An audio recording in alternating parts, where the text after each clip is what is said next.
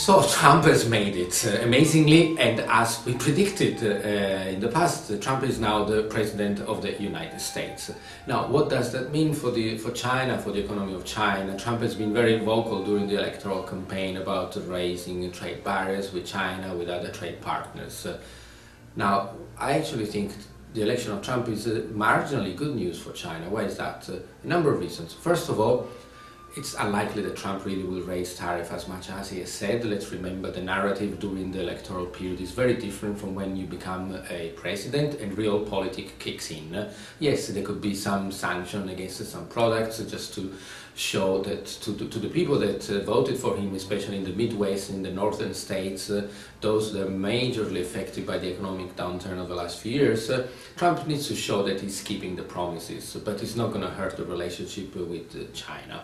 Second, uh, let's not forget, in his inaugural speech, uh, by the way, a very surprisingly good speech, Trump has uh, pledged that the US will build infrastructure to be second to none.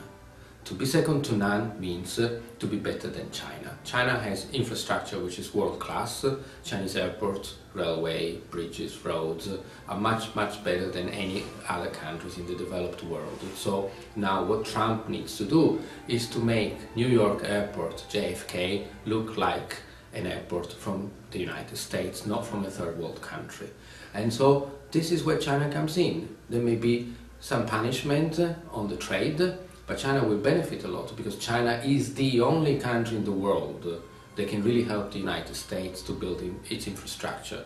The paradox is that today, in 2016, China has much more experience than any other countries in building large-scale infrastructure.